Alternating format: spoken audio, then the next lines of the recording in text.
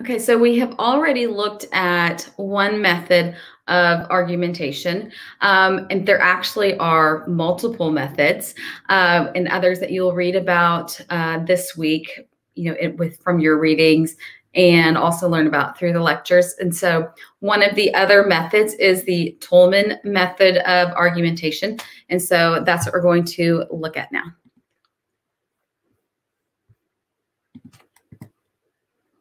So, who is Toulmin? So, it's actually a man's last name. His name is Stephen Toulmin. Uh, he was a British contemporary philosopher and he redefined how we think of argument. So, what you see on top is like the classic argument method. Um, it was a three part structure and it was uh, structured like that. And so that is the way it was typically done um, for a long period of time. And then Toulmin had a different idea and he came up with his own method um, for argument. And it looks like on the bottom where you have those seven, diff seven different pieces. And we'll go through each of those to learn what they are and how you form them, etc. So the different pieces of the Toulmin method are claim, reasons, support, warrant, backing, rebuttal, and qualifier. So let's look at the first one, claim. So what it does, it organizes your argument. It's a single statement uh, where everything else in your argument attaches to it. So when you're trying to figure out what your claim is, you need to ask, what's my point? What am I trying to prove? So an example is consumers should buy organic, fair trade bananas because of the high humanitarian and environmental cost of marketing traditional bananas. So that is the claim. It's also a thesis. So next thing, reasons what your reasons do. um, they direct support for your claim. They often function as topic sentences or the main idea. So, to figure out what your reason is, you ask what comes after because. Okay, so you had previously about uh, the fair trade with bananas because why? And then what comes after because is your reason or are your reasons. So, for example, most workers on traditional ban banana plantations labor under unsafe conditions. So, because, and then it gives the reason there. The next is support. What it does, it defends your reasons. You use logos, ethos, and pathos to support uh, your reasons. You vary your support, but logical support, the, um, the logos, that's the really strong proof. And it really shows that you've done your research. That's, you know, a really strong area. So you need to ask to figure out what your support is. You need to ask, how will I prove my point? So examples of support are logical support can include your facts, figures, stats, any commentary that describes the conditions, um, specifically the conditions with the banana plantations. Uh, the next would be ethical support includes scholarly articles and research from credible online print sources about those conditions. And emotional support. You can add that piece in there as well. So emotional support focuses on your decision to switch to organized fair trade bananas. And it describes the conditions and examples from the experience of the workers themselves. The next is warrant. So, what does a warrant do? It identifies the shared values and beliefs with an audience and shared morals that help the audience listen. And I think this key part uh, with the warrant is really something that sets Toulmin's method apart from other argumentative methods. So it's really trying to find that common ground with your audience to kind of, it's kind of like extending a hand and, um, you know, finding just common fitting, and then they might be more apt to listen. So to find your warrant, you need to ask, will my audience believe me based on the values we share, and how can I justify my claim? So, an example the fair treatment of workers and good stewardship of the environment are important to the global economy. That would be assuming um, or knowing that your audience cares about, um, you know, the economy, and you know, perhaps even just like the the treatment and good stewardship aspect as well. So, if someone does not care one bit about the economy, that's not going to um, affect them. So that is another part of knowing your audience and writing specifically to your audience. The next is backing.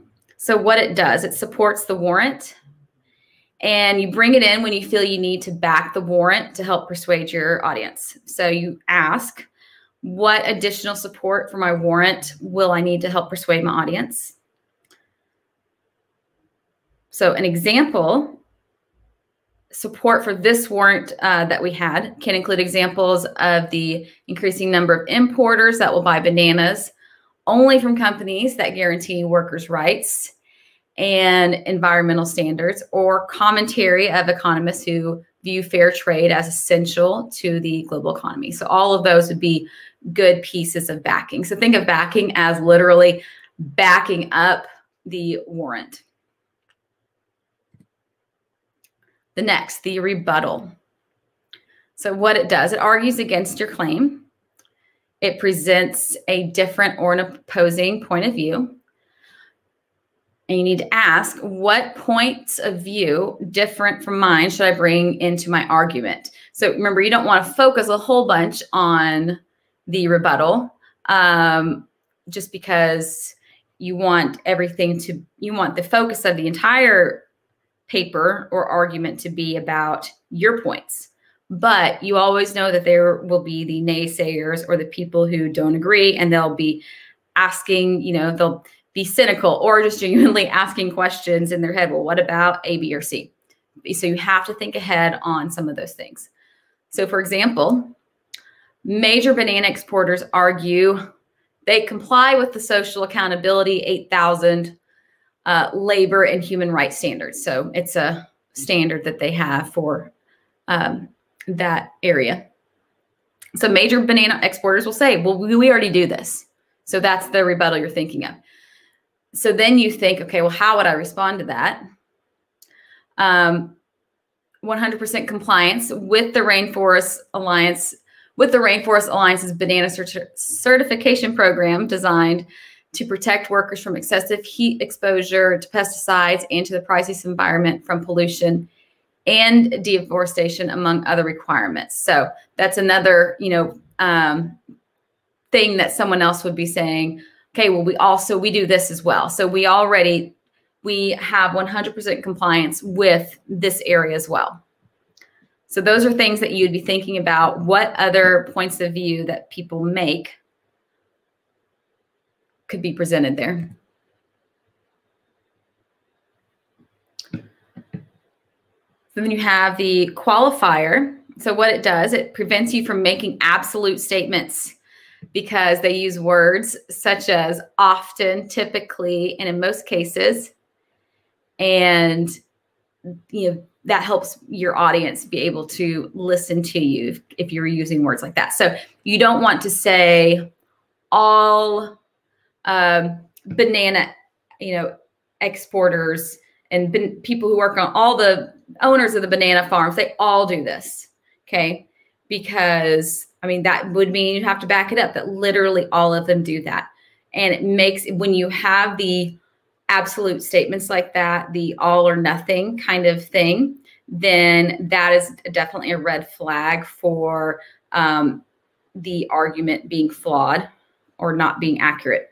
So if you have these qualifiers, if you have words like many of the banana plantations do this, or often the banana plantations do this, or typically.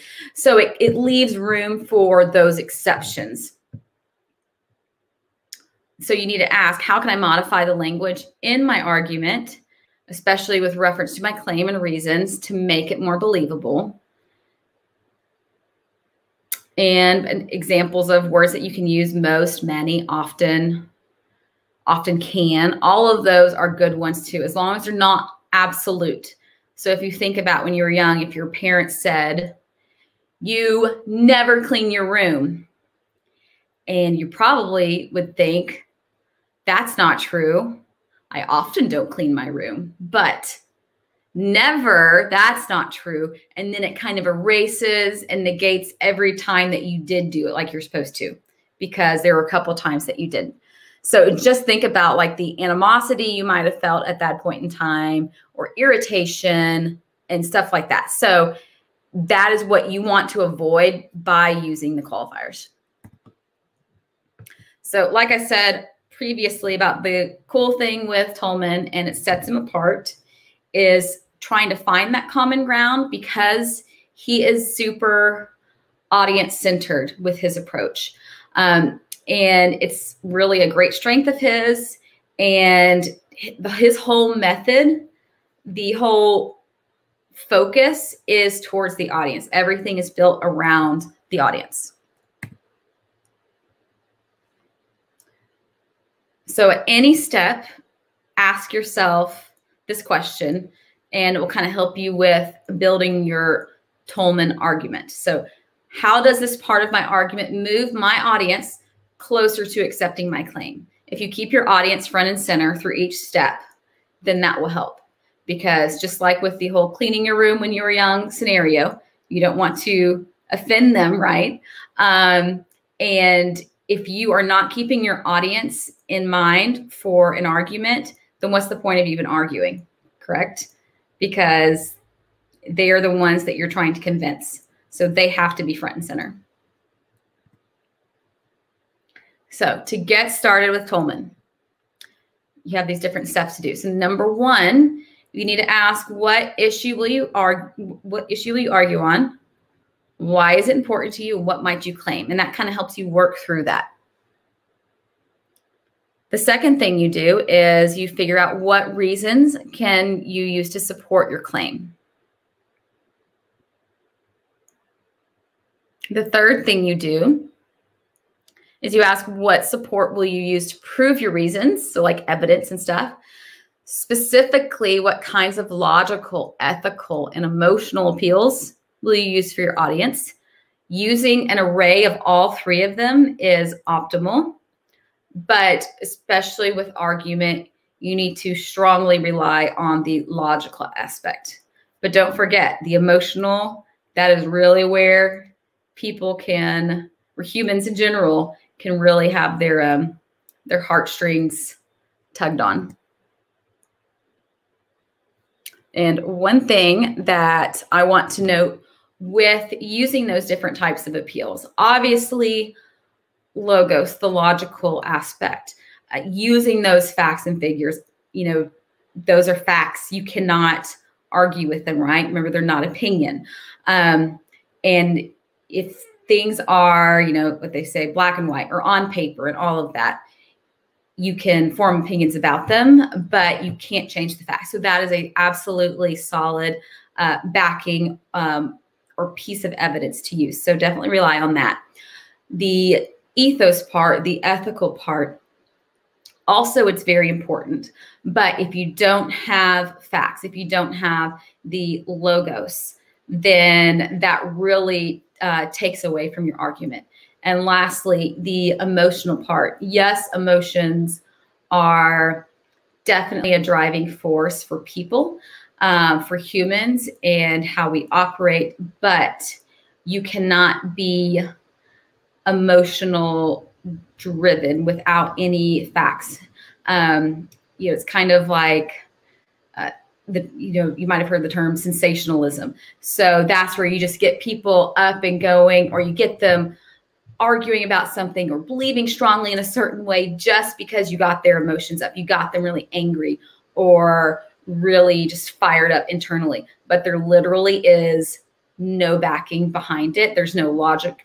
There is no proof of anything, but the emotions are so overcoming. So you don't want to rely too heavily on that because then that does lead into uh, kind of mistakes, which we will talk about, uh, like with logical fallacies.